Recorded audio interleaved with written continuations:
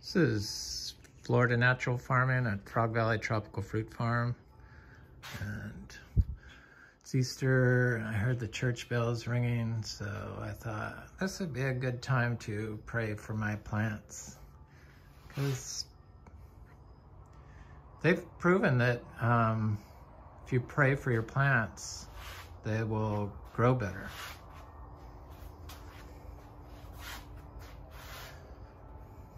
If you pray for your plants, everything else is connected. So they create your environment. I think that's why people have such a connection with plants. It's just, we need them for our food and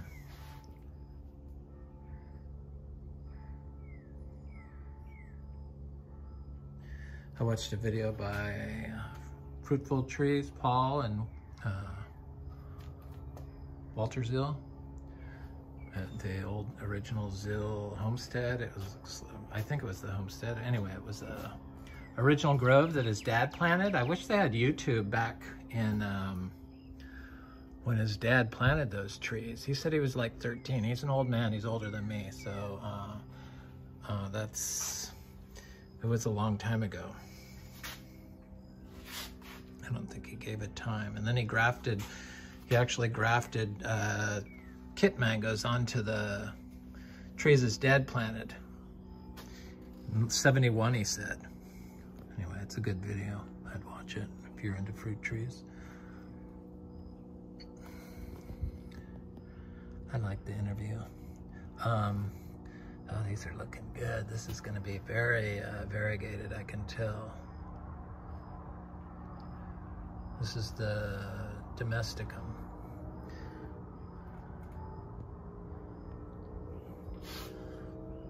We got a new leaf on this Pearly Marks variegated. And this is going to be a very variegated leaf on this uh, Jose Buono. I'm glad this was like a half moon basically. So this one looks more white. This one's like mint almost. I love them. I'm obsessed with them. I pray for them. Pray for your plants.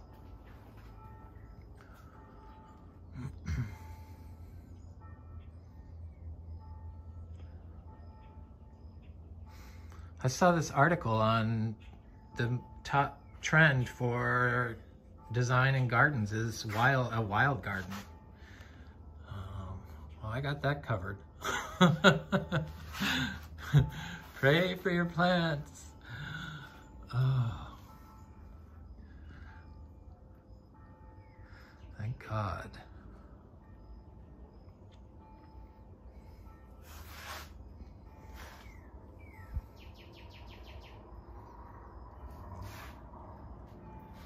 So much wrong in the world. At least we still have plants. Um,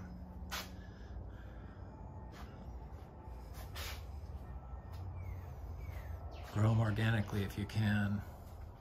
Just, it does matter. Everything matters.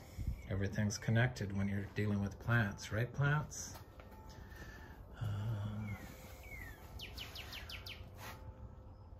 I noticed I did cuttings of all these Plowmanii and uh, Meme and Sodiroi and these, uh, uh, you know, the ones that crawl across the ground. Well, Meme is that climber, but um, this is the Meme.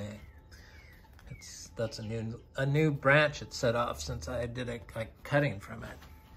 Just they thrive in this compost. It's truly amazing.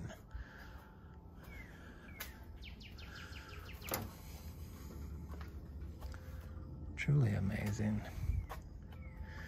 Maybe we want to go look at our mangoes.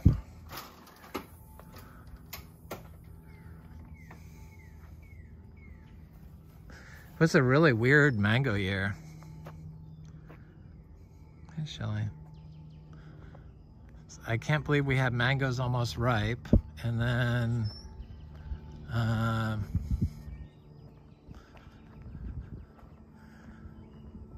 mangoes that are just, there's still flowers on the trees.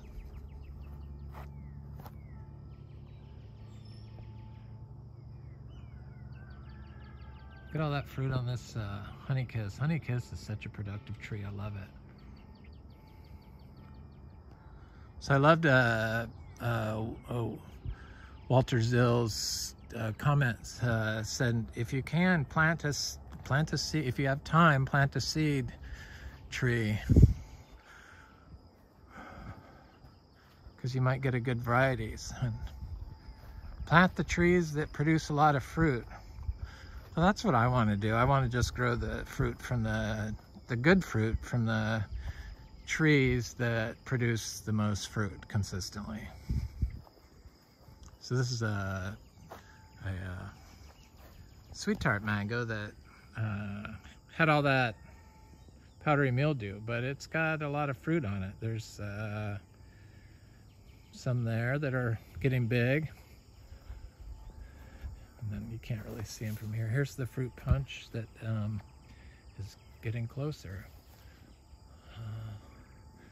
This is a bad area because the raccoons and the birds like to attack the trees in this area for some reason. But there's uh, there's fruit on there. That cute little bunny.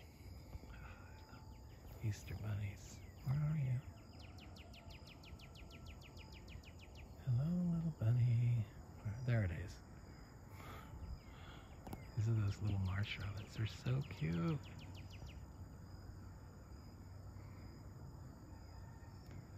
Yeah, I know. You guys like eat my little seedlings, but that's why I plant seed-grown trees, because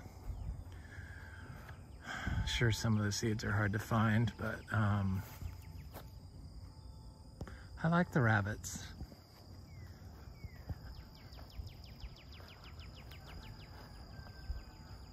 This uh, lychee, i I'm sure, is just starting to bloom.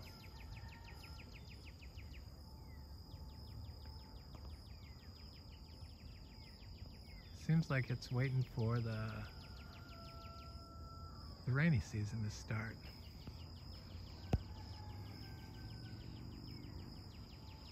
So grow everything, you know, organic and don't water it.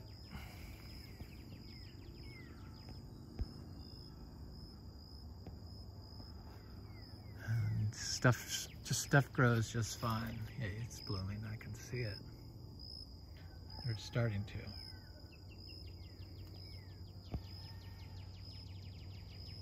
Yeah, right there.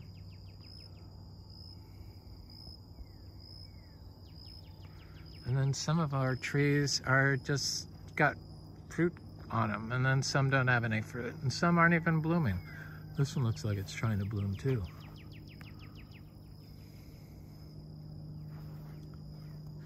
Normally this time of year, this uh, swamp is like uh, really like, I love the green. Green's my favorite color, so I just love looking at this. just the greens, the, the, all the plants, pray for the plants.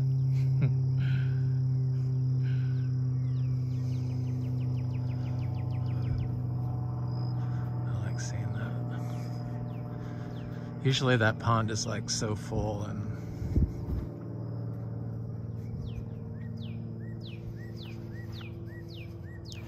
um, are not so full this time of year. it's uh, normally it's uh, almost dry. Previous five years. This is the first year it's actually had that much water in it. So it's a peach cobbler mango. It's got two crops on it. And that this tree is just two years in the ground. Um, two years and uh, four months. And it's about 12 feet tall and um, never been watered. I consider that productive for a peach cobbler mango because they're not all of them fruit very well. It's location to location. Uh, this is a, I see a sickly looking uh, Pineapple Pleasure on there. This is a, a Sugarloaf mango. And this is a mango, coconut cream mango that's always produced tons of fruit, but I can see, you see all that freeze damage on the top? It got hit by the freeze pretty hard for some reason, especially for such a large tree.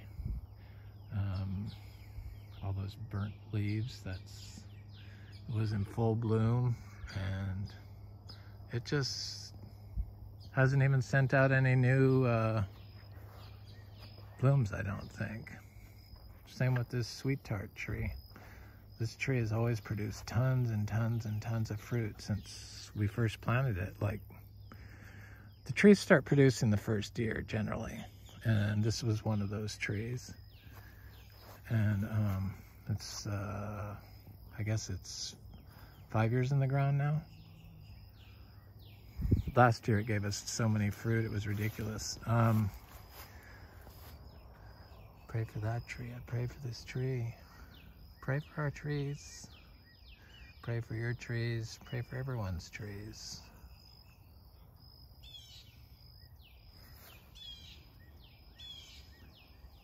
It works. Look at the um, Tamarillo fruit. This tree is loaded with fruit and I am so, I mean, I am so excited about this uh, fruit because I love to make salsa. I make salsa every week and um, it's supposed to be really good salsa made from these uh, tree tomatoes. Look at all these blooms. I mean, uh, it looks like it's, I'm glad I tied it up because it's, um, it's like ridiculous. Um, the amount of blooms and fruit that is going to be on this little tiny tree. That's what I like.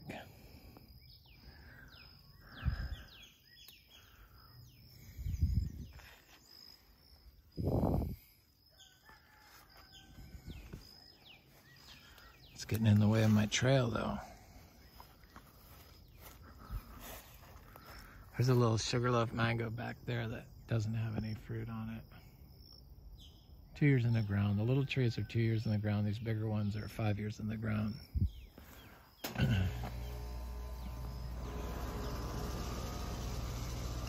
It's a weird mango year. Um,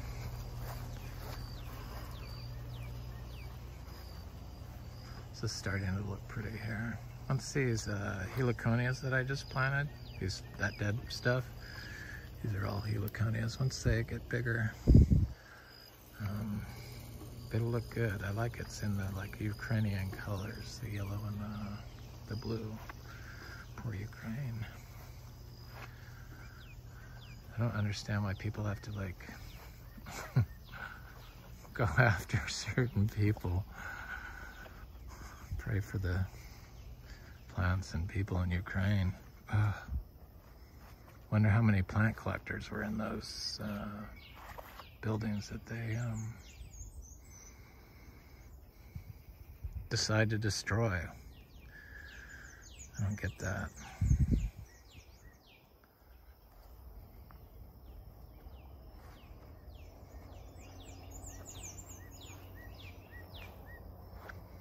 Guess there's a lot of things to pray about. Uh, we're just praying for the plants.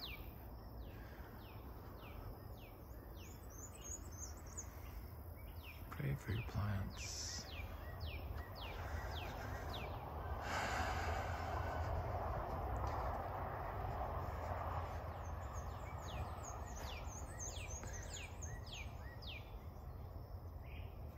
Florida is so beautiful. It's gotten so expensive. Our neighbor's house sold. Her, you know, it went pending. Um, thank God. Hopefully it's an organic person that bought it.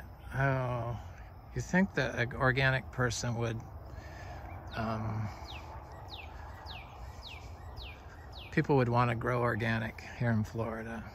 Um, I thought that's where everyone was headed, but that wasn't the case with that guy that I inspired to clear cut a whole native forest and burn all his trees.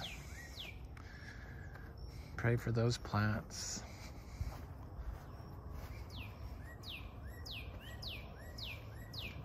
I love this palm tree with all those little uh, ferns growing out of it. This is this palm. We had it's been weird wind. It's been weird weather here. That's why the mango trees. I think a lot of them because I forgot about the multiple times of five inches of rain in like an hour and so during one of those events, this palm tree, this old palm tree, I mean, look at how big these things are, snapped and was laying across my little walkway here. So I had to get my organic olive oil run electric chainsaw out and cut the log.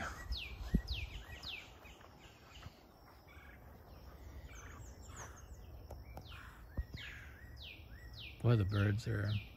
I notice these places when videos I watch, there seems to be birds in where there's big trees.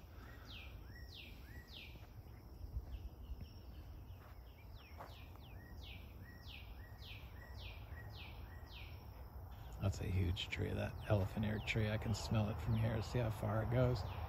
From there.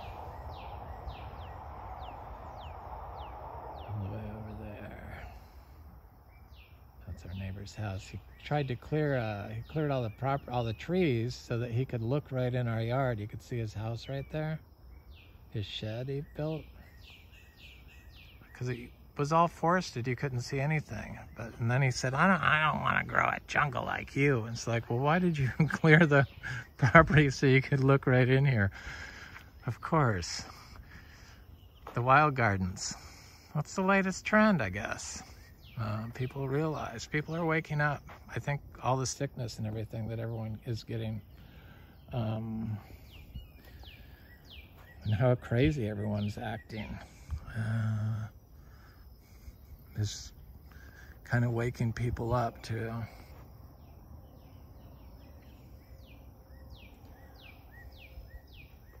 what they've done with their pollutions to our food systems because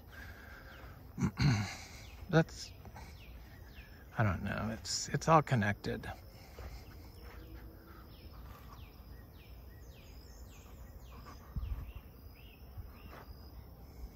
We just can't keep killing biology and expect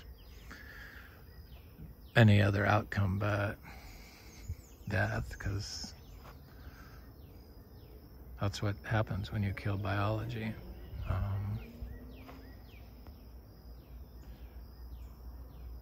pray for this tree, so beautiful.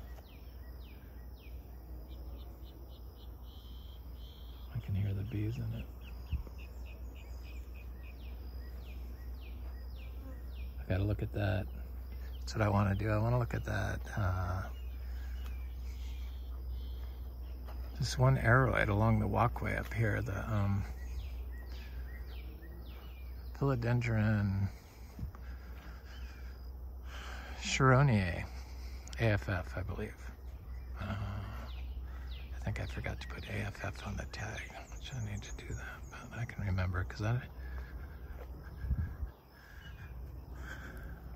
No, I put it on there. Yeah. Sharoniae AFF sent off this new leaf from this cutting I planted here. See, it has a zebu turd right next to it.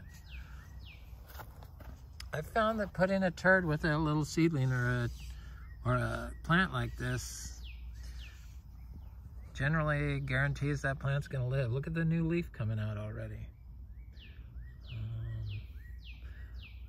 What a fast grower. No water. That's what, you know, you don't have to water any of this stuff in Florida. That's, you do if you use fertilizers. You know, water soluble fertilizers. But you don't need to use the fertilizers. That's, that's the whole thing. the wild builds the biota that grows trees. So it's uh,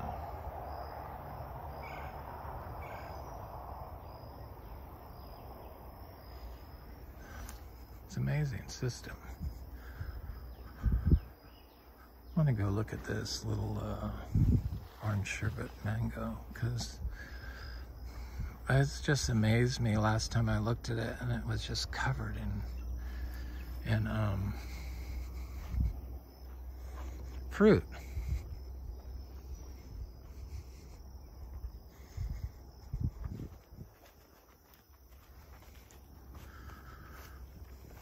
It's very warm again. Well, it was like 65 last night, which is nice. Uh, this tree is completely covered in bloom too. So pretty. I don't think that any plants are junk. I think there's a place for all plants. Um, some people just get focused on whatever they they're doing, and uh, me included. That's why I was so uh, such a snob to mulberries, but I've found out I like them, and I'm glad that um, I evolved.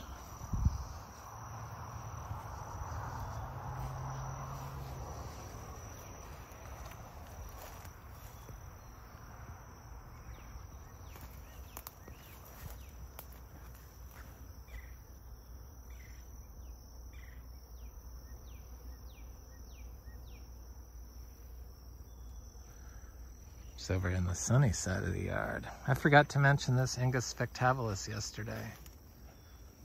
Pray for this tree. Pray for all the trees. Pray.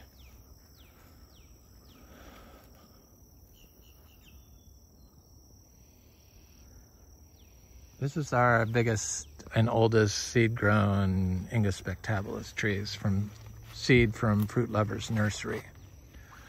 Uh, I think I bought like 10 seeds and this is the only one that survived because I wasn't really sure how to grow back then. Um, this is like five year old tree and the soil wasn't very good. I was still mowing when I planted this because I used to mow everything and then have rings around the trees of wood chips and mulch, hay and stuff. And um, it struggled. It didn't grow until I stopped mowing.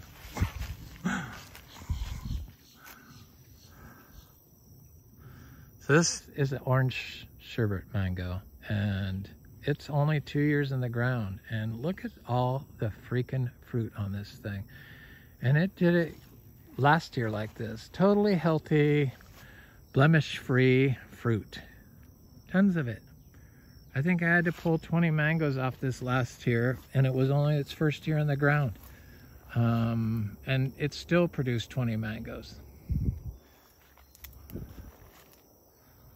I don't know what forces some trees to grow fruit like that, but this is one tree that I want to plant all the seeds from, for sure. I'll buy the fruit myself. yeah, I have to buy my own fruit. Mango fruit. This is a fruit punch mango. It's um, got a lot of mangoes on it. It's a little tiny tree. It's a two-year-old tree. But this tree was kind of stunted for a while and then finally started growing this year. Took a year. This is a Guanabana that is in Miami from Lara Farms that I planted about six years ago, a little less, five and a half years ago probably. And um, it's dry farmed and it lost its leaves when it got down to 49 degrees here this year. Uh,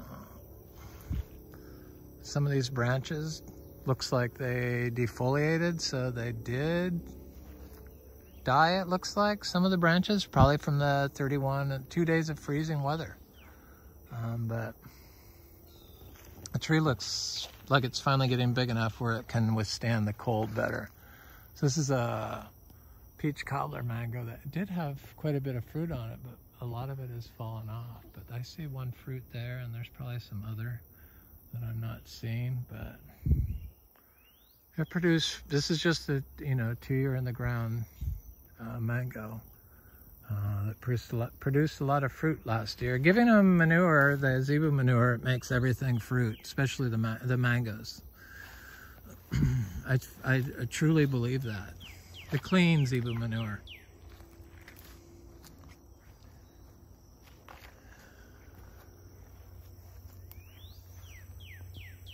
Anyway, this is uh, Florida Natural Farming Frog Valley Tropical Fruit Farm.